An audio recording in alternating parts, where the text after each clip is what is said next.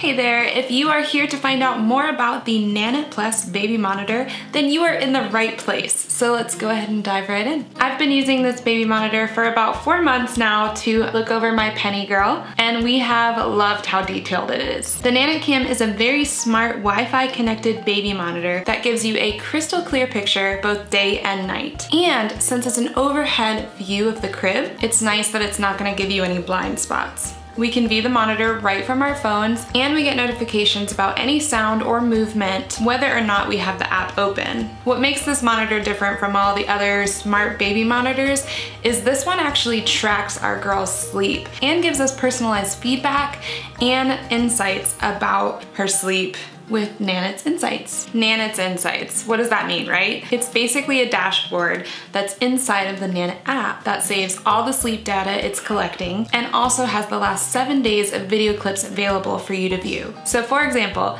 the Nanit Cam analyzed Penny's sleep and started to recognize what was normal or inconsistent with her sleep habits, such as putting her down at different times or her waking up at weird times in the night. Nanit Insights is technically an additional subscription in the Nanit app, but you do get a whole year for free to try it out. I find the app really clean and easy to use. It comes full of nifty tools on top of baby monitoring, and sleep tracking. There's temperature tracking, and you can also check out the humidity levels. There are sound options available, that you can control right from the app and a soft glow light too. Nanit launched the Plus version of their camera in 2018, which added background audio, which is really nice because now I can keep listening to Penny even when I'm inside of other apps, or even if the phone is locked. There's also two-way audio, which is probably one of my used features right now. There are plenty of times that Penny needs a little bit of encouragement to lay down these days.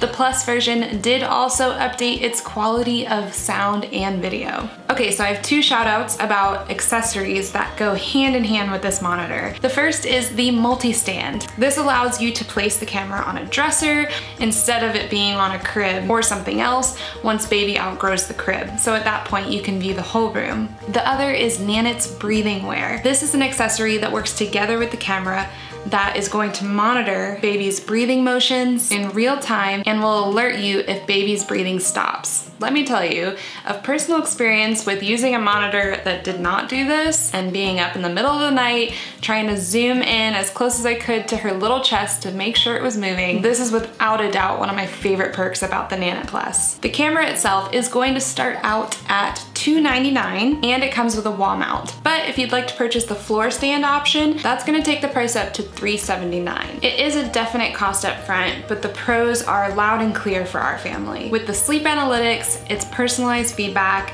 the two-way communication, no blind spots, and the ability to view it anywhere with Wi-Fi connection, plus the added breathing accessory are all things that we really like. As for the cons, the expense is high and you are looking at the add-ons being additional costs. I'll also say I got a little annoyed with the amount of notifications that were coming through since it was picking up sounds even from downstairs. However, I did quickly find out that you can adjust the audio levels of what it's gonna pick up and notify you about, which has helped a lot with not getting all those unnecessary alerts. I hope this review has been helpful for you. Thanks for watching.